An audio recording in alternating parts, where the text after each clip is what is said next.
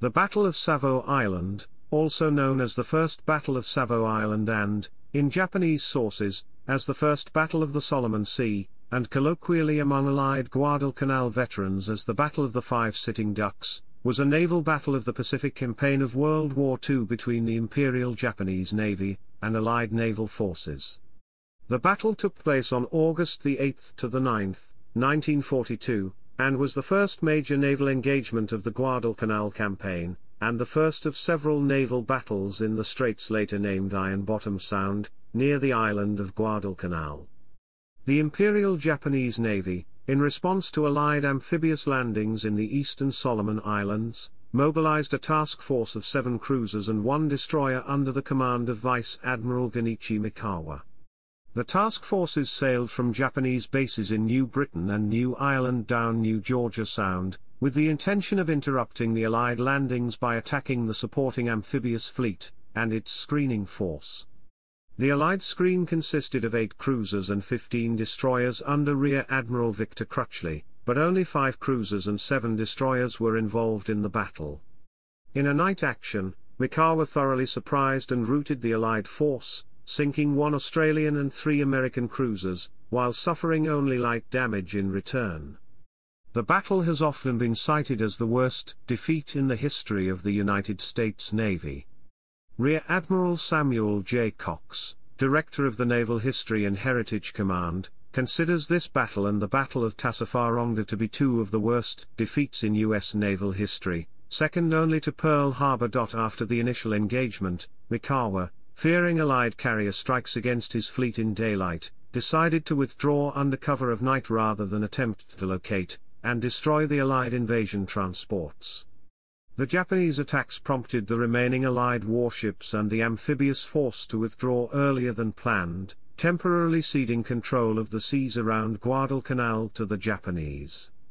This early withdrawal of the fleet left the Allied ground forces, which had landed on Guadalcanal and nearby islands only two days before, in a precarious situation, with limited supplies, equipment, and food to hold their beachhead. Mikawa's decision to withdraw under cover of night rather than attempt to destroy the Allied invasion transports was primarily founded on concern over possible Allied carrier strikes against his fleet in daylight.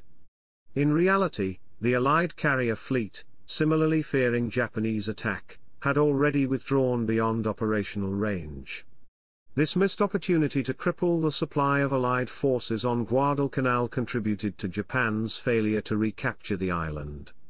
At this critical early stage of the campaign, it allowed the Allied forces to entrench and fortify themselves sufficiently to defend the area around Henderson Field until additional Allied reinforcements arrived later in the year. The battle was the first of five costly, large-scale sea and air-sea actions fought in support of the ground battles on Guadalcanal itself, as the Japanese sought to counter the American offensive in the Pacific.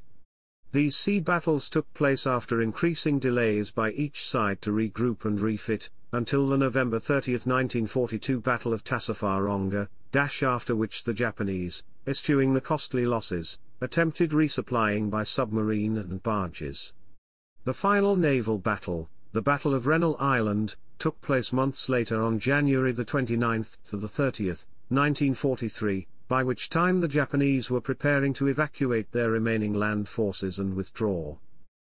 Chapter 1 Background Chapter 1 Section 1 Operations at Guadalcanal On August 7, 1942, Allied forces landed on Guadalcanal, Tulagi, and Florida Island in the eastern Solomon Islands. The landings were meant to deny their use to the Japanese as bases, especially the nearly completed airfield at Henderson Field that was being constructed on Guadalcanal. If Japanese air and sea forces were allowed to establish forward operating bases in the eastern Solomons they would be in a position to threaten the supply shipping routes between the US and Australia. The Allies also wanted to use the islands as launching points for a campaign to recapture the Solomons, isolate or capture the major Japanese base at Rabaul, and support the Allied New Guinea campaign, which was then building strength under General Douglas MacArthur. The landings initiated the six-month-long Guadalcanal campaign. The overall commander of Allied naval forces in the Guadalcanal and Tulagi operation was U.S. Vice Admiral Frank Jack Fletcher. He also commanded the carrier task groups providing air cover. U.S. Rear Admiral Richmond K. Turner commanded the amphibious fleet that delivered the 16,000 Allied troops to Guadalcanal and Tulagi. 14 Also under Turner was Rear Admiral Victor Crutchley's screening force of 8 cruisers, 15 destroyers, and 5 minesweepers. This force was to protect Turner's ships and provide gunfire support for the landings. Crutchley commanded his force of mostly American ships from his flagship, the Australian heavy cruiser HMAS Australia, 621 to 24 the Allied landings took the Japanese by surprise. The Allies secured Tulagi, nearby islets Gavutu and Tanambogo, and the airfield under construction on Guadalcanal by nightfall on August 8. 14 to 15 on August 7 and 8, Japanese aircraft based at Rabaul attacked the Allied amphibious forces several times, setting afire the U.S. transport ship George F. Elliott and heavily damaging the destroyer USS Jarvis, 90 to 103 in these air attacks. The Japanese lost 36 aircraft, while the US lost 19 aircraft, including 14 carrier-based fighter aircraft, 80. Concerned over the losses to his carrier fighter aircraft strength, anxious about the threat to his carriers from further Japanese air attacks, and worried about his ship's fuel levels, Fletcher announced that he would be withdrawing his carrier task forces on the evening of August 8. Some historians contend that Fletcher's fuel situation was not at all critical, but that Fletcher used it to justify his withdrawal from the battle area. 9428 104 05 Fletcher's biographer notes that Fletcher concluded that the landing was a success and that no important targets for close air support were at hand. Being concerned over the loss of 21 of his carrier fighters, he assessed that his carriers were threatened by torpedo bomber strikes, and, wanting to refuel before Japanese naval forces arrived, withdrew as he had previously forewarned Turner and Vandegrift. Turner, however, believed that Fletcher understood that he was to provide air cover until all the transports were unloaded on August 9. Even though the unloading was going more slowly than planned, Turner decided that without carrier air cover he would have to withdraw his ships from Guadalcanal. He plans to unload as much as possible during the night and depart the next day. 59. Chapter 1 Section 2 Japanese Response Unprepared for the Allied operation at Guadalcanal, the initial Japanese response included airstrikes and an attempted reinforcement. Mikawa, commander of the newly formed Japanese 8th Fleet headquartered at Rabaul, loaded 519 naval troops on two transports and sent them towards Guadalcanal on August 7. When the Japanese learned that Allied forces at Guadalcanal were stronger than originally reported, the transports were recalled, 87 126 Mikawa also assembled all the available warships in the area to attack the Allied forces at Guadalcanal. At Rabaul were the heavy cruiser Chokai, the light cruisers Tenryu and Yubari and the destroyer Unagi. En route from Kavieng were four heavy cruisers of Cruiser Division 6 under Rear Admiral Aritomo Goto, Aoba, Furutaka, Kako, and Kinugasa, 193 to 9421 The Japanese Navy had trained extensively in night fighting tactics before the war, a fact of which the Allies were unaware, 43 to 44 Mikawa hoped to engage the Allied naval forces off Guadalcanal and Tulagi on the night of August 8 and 9, when he could employ his night battle expertise while avoiding attacks from Allied aircraft, which could not operate effectively at night. Mikawa's warships rendezvoused at sea near Cape St. George in the evening of August 7 and then headed east-southeast, 1921. Chapter 2, Battle Chapter 2 Section 1 Prelude. Mikawa decided to take his fleet north of Buka Island and then down the east coast of Bougainville. The fleet would pause east of Kieta for six hours on the morning of August 8, 126 they would then proceed along the dangerous channel known as the Slot, hoping that no Allied plane would see them in the fading light. The Japanese fleet was in fact sighted in St. George Channel, where their column almost ran into USS S-38, lying in an ambush. She was too close to fire torpedoes, but her captain, Lieutenant Commander H. E. Munson, radioed, two destroyers and three larger ships of unknown type heading 140 true at high speed 8 miles west of Cape St. George, 355 once at Bougainville, Mikawa spread his ships out over a wide area to mask the composition of his force and launched four float planes from his cruisers to scout for Allied ships in the southern Solomons. At 10.20 and 11.10, his ships were spotted by Royal Australian Air Force Hudson reconnaissance aircraft based at Milne Bay New Guinea, 88 The first Hudson misidentified them as three cruisers, three destroyers, and two seaplane tenders. The Hudson's crew tried to report the sighting to the Allied radio station at Fall River, New Guinea. Receiving no acknowledgement, they returned to Milne Bay at 1242 to ensure that the report was received as soon as possible.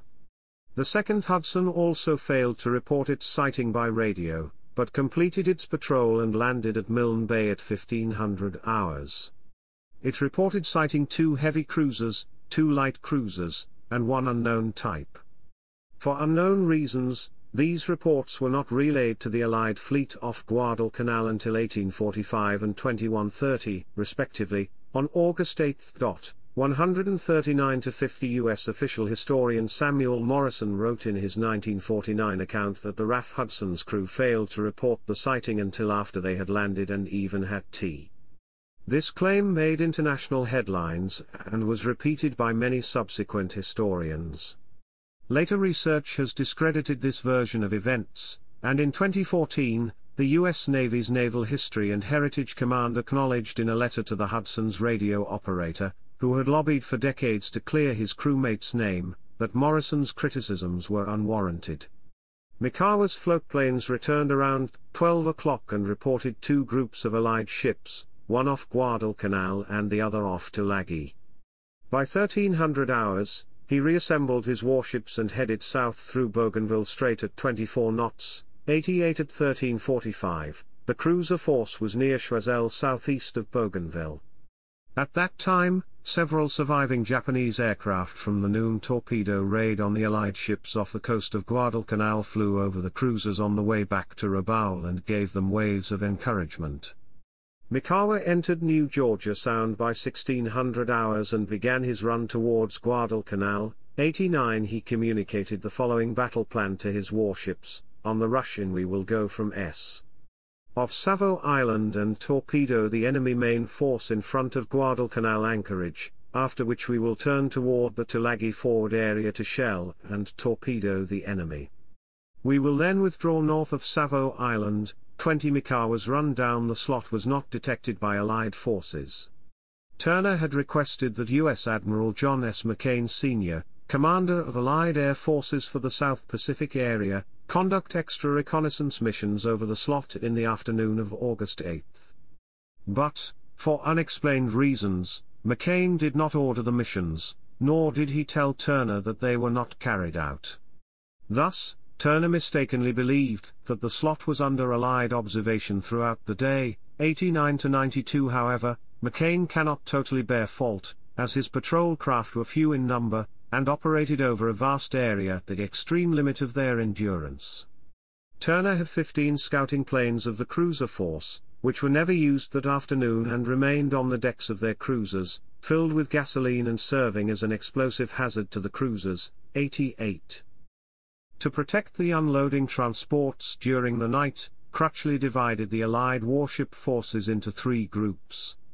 A southern group, consisting of the Australian cruisers HMAS Australia and HMAS Canberra, cruiser USS Chicago, and destroyers USS Patterson and USS Bagley, patrolled between Lunga Point and Savo Island to block the entrance between Savo Island and Cape Esperance on Guadalcanal.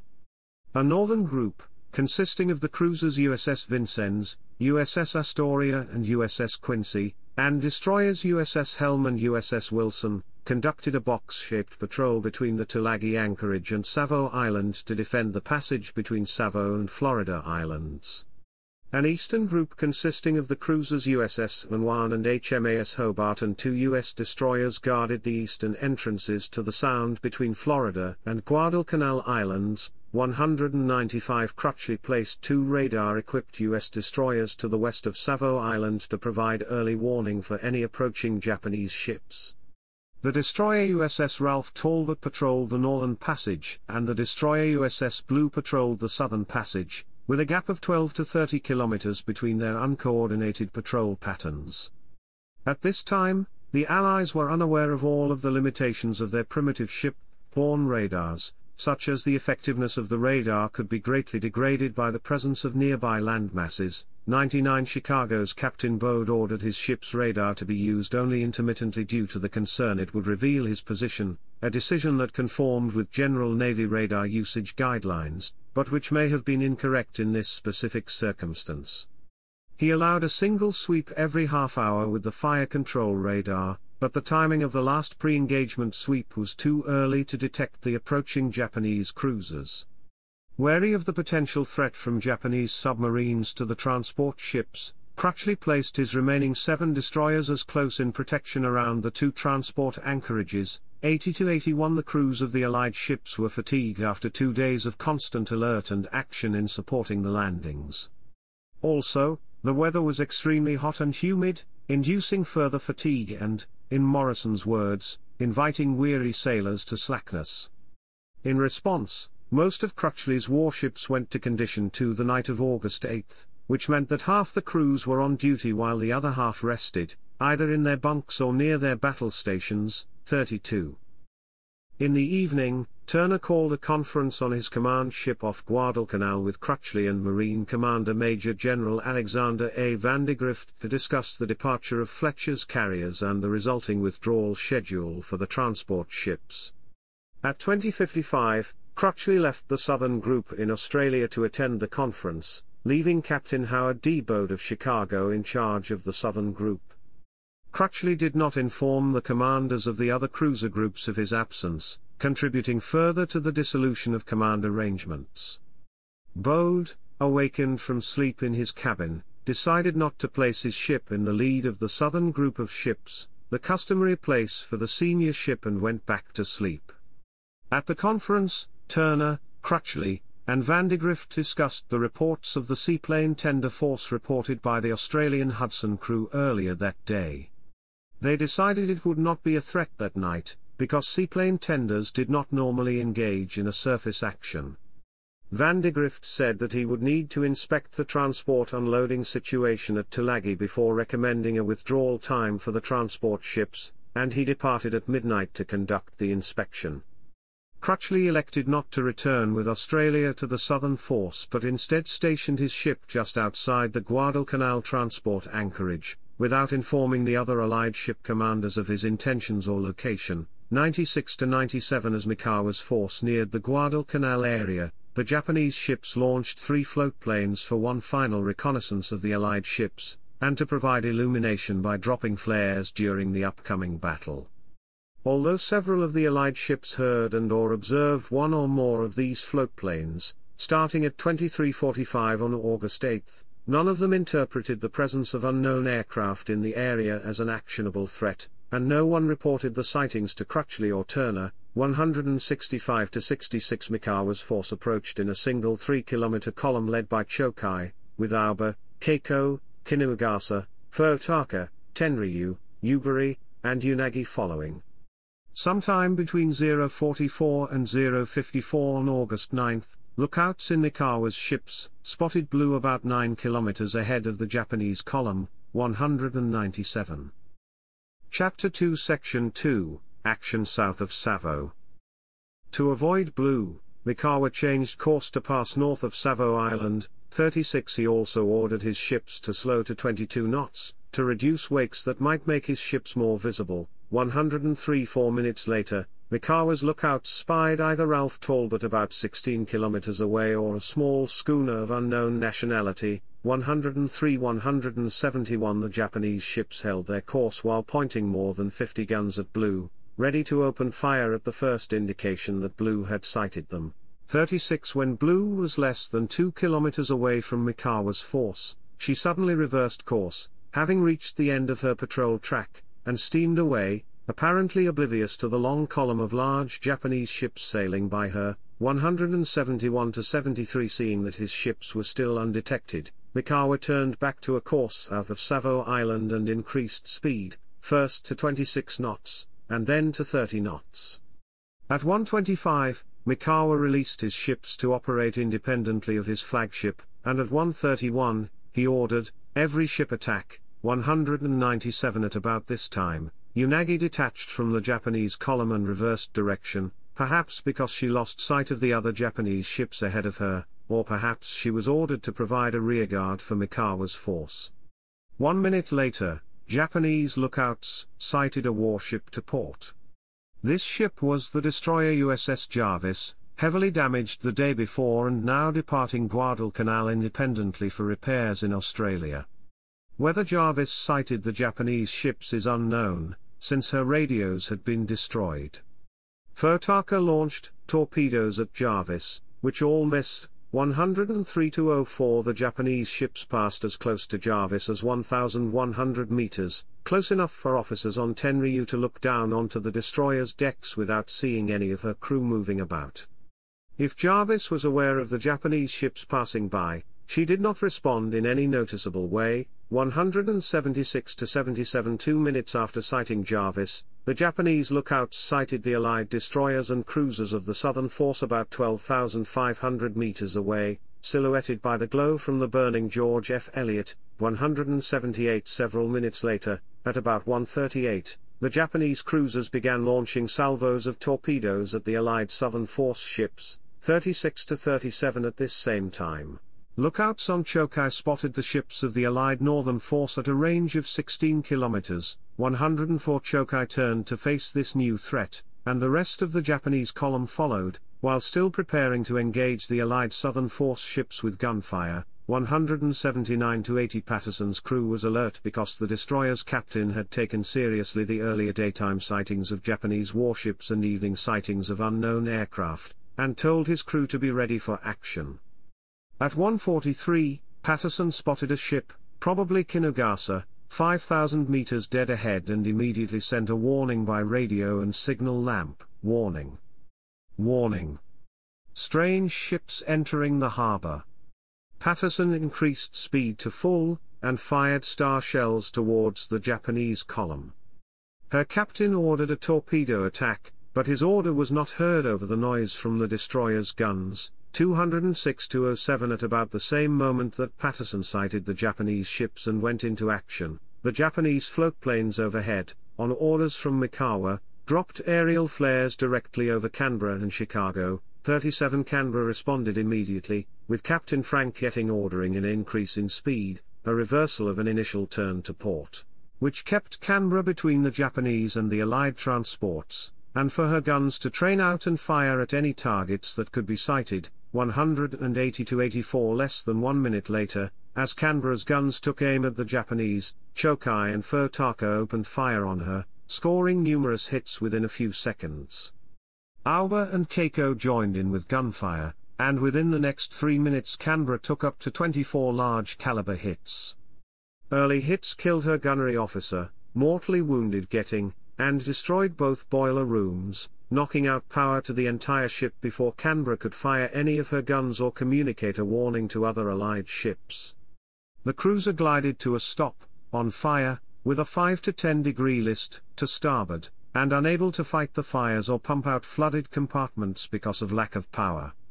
Since all of the Japanese ships were on the port side of Canberra, the damage to the ship's starboard side occurred either from shells entering low on the port side and exiting below the waterline on the starboard side, or from one or two torpedo hits on the starboard side. 105 If torpedoes did hit Canberra on the starboard side, then they may have come from a nearby Allied ship, and at this time the U.S.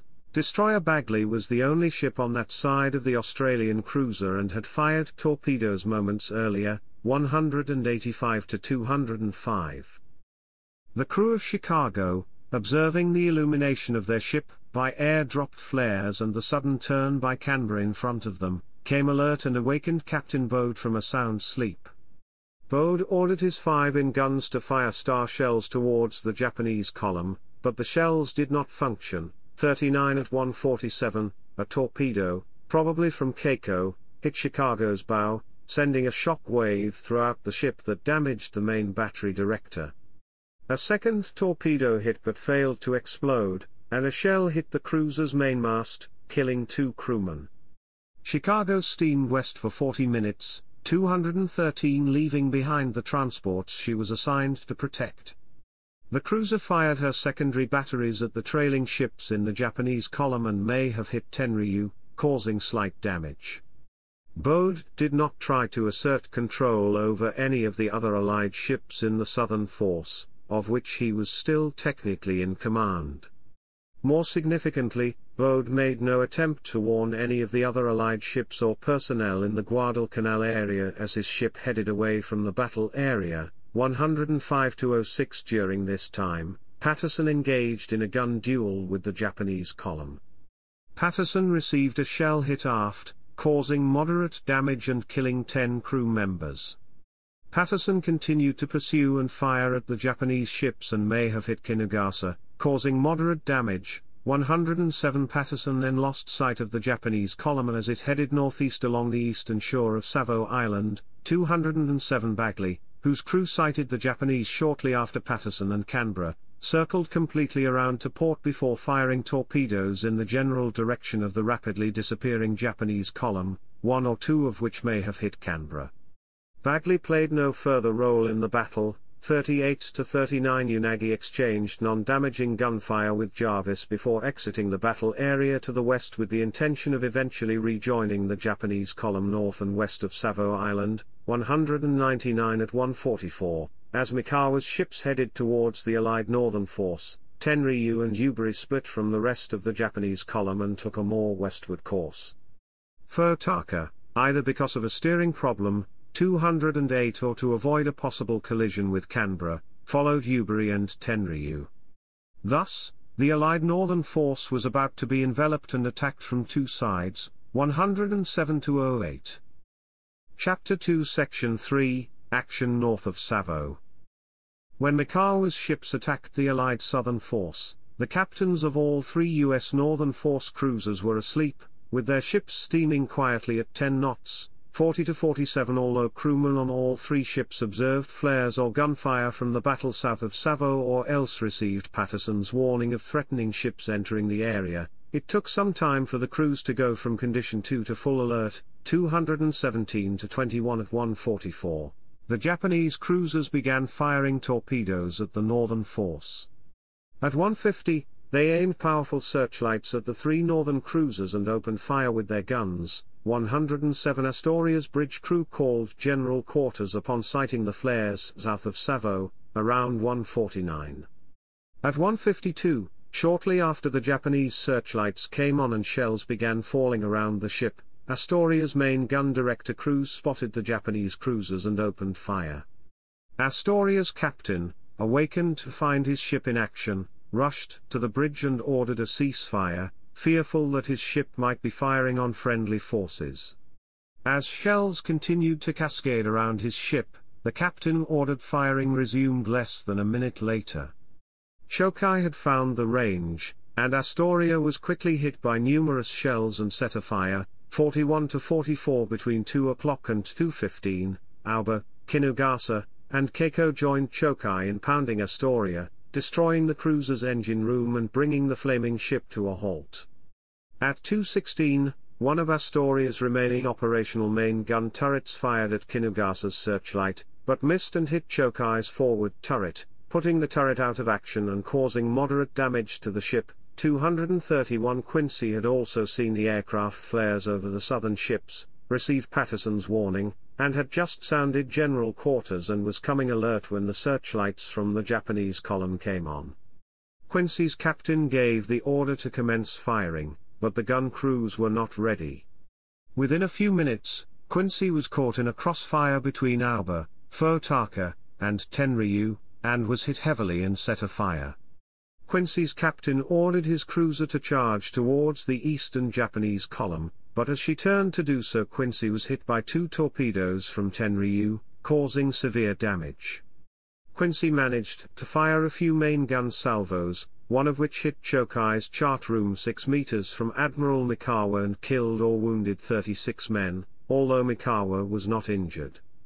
At 2.10, incoming shells killed or wounded almost all of Quincy's bridge crew, including the captain. At 2.16, the cruiser was hit by a torpedo from Aoba, and the ship's remaining guns were silenced. Quincy's assistant gunnery officer, sent to the bridge to ask for instructions, reported on what he found. When I reached the bridge level, I found it a shambles of dead bodies with only three or four people still standing. In the pilot house itself the only person standing was the signalman at the wheel who was vainly endeavoring to check the ship's swing to starboard to bring her to port. On questioning him I found out that the captain, who at that time was laying near the wheel, had instructed him to beach the ship and he was trying to head for Savo Island, distant some four miles on the port quarter. I stepped to the port side of the pilot house, and looked out to find the island and noted that the ship was heeling rapidly to port, sinking by the bow. At that instant the captain straightened up and fell back, apparently dead, without having uttered any sound other than a moan. Quincy sank, bow first, at 238, 111 to 13. Like Quincy and Astoria, Vincennes also sighted the aerial flares to the south, and furthermore, actually sighted gunfire from the southern engagement. At 1.50, when the US cruisers were illuminated by the Japanese searchlights, Vincennes hesitated to open fire, believing that the searchlights' source might be friendly ships. Shortly thereafter, Kako opened fire on Vincennes which responded with her own gunfire at 1.53, 47 as Vincennes began to receive damaging shell hits, her commander, U.S. Captain Frederick L. Riefkohl, ordered an increase of speed to 25 knots, but shortly thereafter, at 1.55, two torpedoes from Chokai hit, causing heavy damage. Kinugasa now joined Kako in pounding Vincennes. Vincennes scored one hit on Kinugasa causing moderate damage to her steering engines. The rest of the Japanese ships also fired and hit Vincennes up to 74 times, and, at 2.03, another torpedo hit her, this time from Yubari. With all boiler rooms destroyed, Vincennes came to a halt, burning everywhere and listing to port. At 2.16, Riefkohl ordered the crew to abandon ship, and Vincennes sank at 2.50, 225 to 28 during the engagement, the US destroyers Helm and Wilson struggled to see the Japanese ships. Both destroyers briefly fired at Mikawa's cruisers but caused no damage and received no damage to themselves. 114 at 216, the Japanese columns ceased fire on the Northern Allied force as they moved out of range around the north side of Savo Island. Ralph Talbot encountered Furutaka, Tenryu, and Yubari as they cleared Savo Island. The Japanese ships fixed the US destroyer with searchlights and hit her several times with gunfire, causing heavy damage, but Ralph Talbot escaped into a nearby rain squall, and the Japanese ships left her behind, 50 to 51. Chapter 2 Section 4, Mikawa's Decision At 216 Mikawa conferred with his staff about whether they should turn to continue the battle with the surviving Allied warships and try to sink the Allied transports in the two anchorages.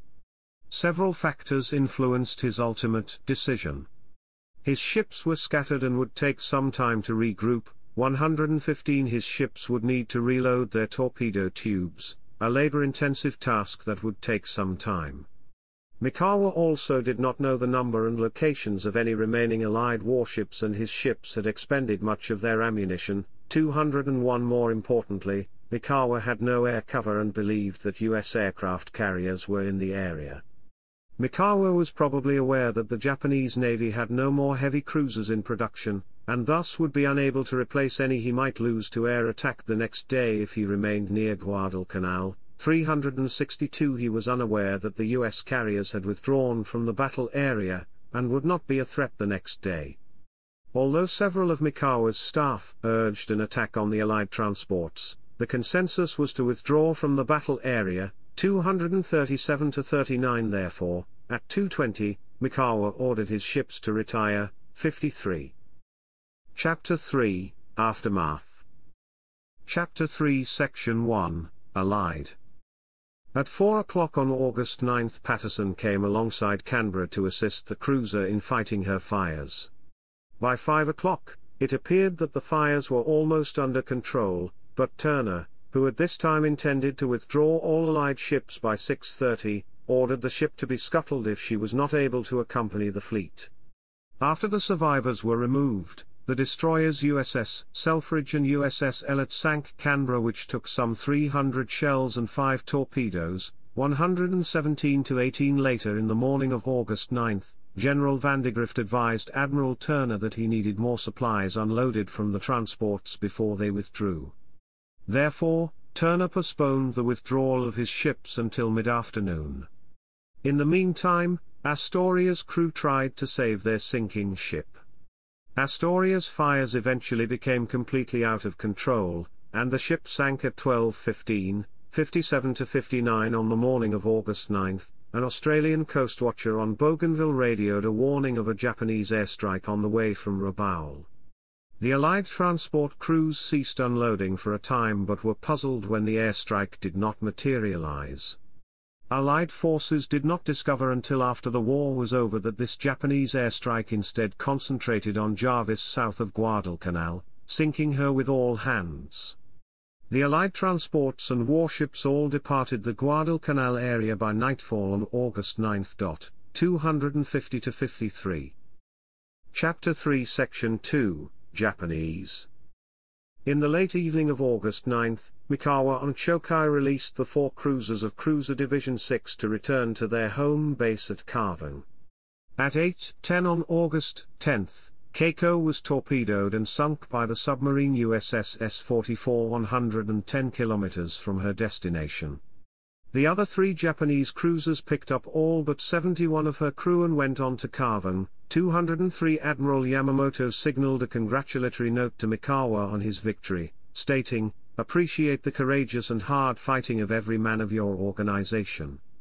I expect you to expand your exploits and you will make every effort to support the land forces of the Imperial Army which are now engaged in a desperate struggle.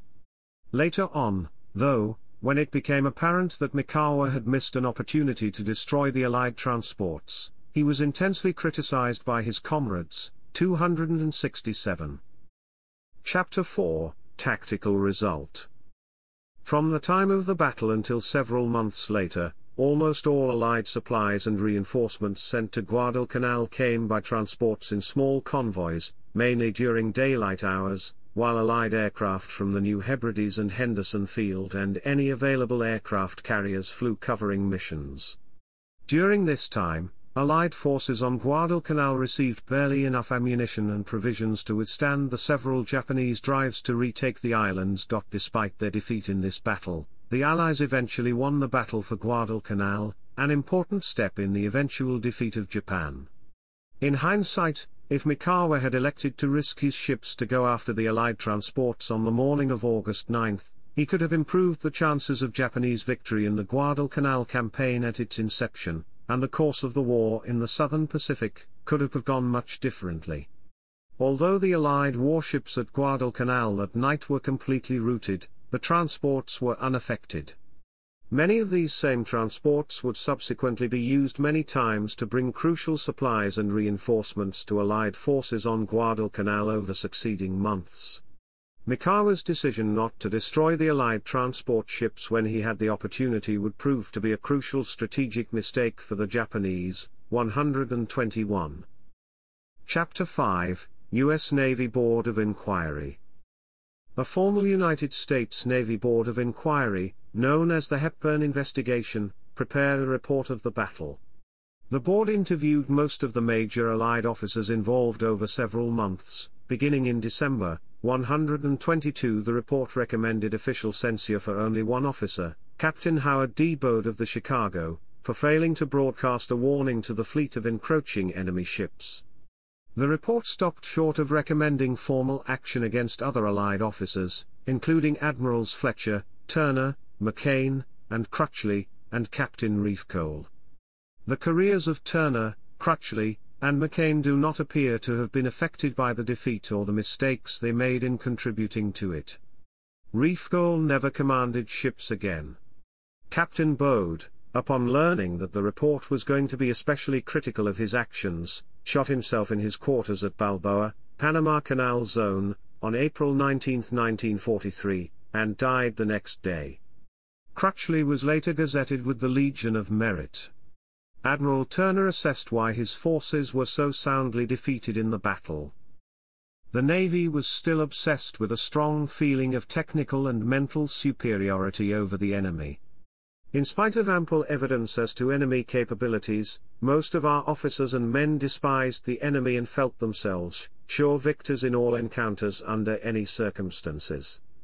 The net result of all this was a fatal lethargy of mind which induced a confidence without readiness, and a routine acceptance of outworn peacetime standards of conduct. I believe that this psychological factor, as a cause of our defeat, was even more important than the element of surprise. 123.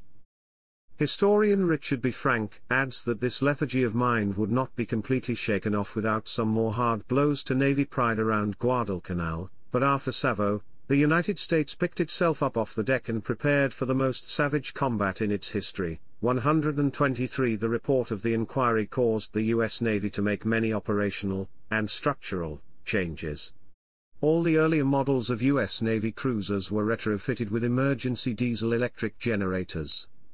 The fire mains of the ships were changed to a vertical loop design that could be broken many times and still function. During the battle at Savo, Many ship fires were attributed to aviation facilities filled with gas, oil, and planes. Motorboats were filled with gasoline and also caught fire. In some cases, these facilities were dead amidships, presenting a perfect target for enemy ships at night. Ready service lockers added to the destruction, and it was noted that the lockers were never close to being depleted, i.e., they contained much more dangerous ammunition than they needed to. A focus was put on removing or minimizing flammable amidship materials. The Naval Commander-in-Chief Admiral King would order sweeping changes be made before ships entered surface combat in the future. Chapter 6, Works Cited Coombe, Jack D. Derailing the Tokyo Express. Harrisburg, Pennsylvania, Stackpole. ISBN 08117 3031. Domagalski, John J. Lost at Guadalcanal, The Final Battles of the Astoria and Chicago as described by survivors and in official reports. McFarland. ISBN 978 0786458974. Dull, Paul S. A Battle History of the Imperial Japanese Navy, 1941 to 1945. Naval Institute Press. ISBN 08702100971. Frank, Richard B. Guadalcanal, The Definitive Account of the Landmark Battle. New York, Penguin Group. ISBN 014 01656114. Friedman, Norman. U.S. Cruisers, An Illustrated Design History. London, Arms and Armor. ISBN 978 085368 651 4. Johnson, William Bruce. The Pacific Campaign in World War II, From Pearl Harbor to Guadalcanal. London, New York, Routledge, 2006. ISBN 978 0415 70175 4. Leckie, Robert. Strong Men Armed, The United States Marines Against Japan. Da Capo Press, 2011. Originally published, New York, Random House, 1962. OCLC 561214425. Loxton, Bruce, Chris Coulthard Clark. The Shame of Savo, Anatomy of a Naval Disaster. Australia, Allen and Unwin Proprietary Limited, ISBN 186448 286 9. Lundstrom, John B. First Team and the Guadalcanal Campaign, Naval Fighter Combat from August to November 1942. Annapolis, Maryland, Naval Institute Press. ISBN 159114 472 8. Lundstrom, John B. Black Shoe Carrier Admiral, Frank Jack Fletcher at Coral Sea, Midway, and Guadalcanal.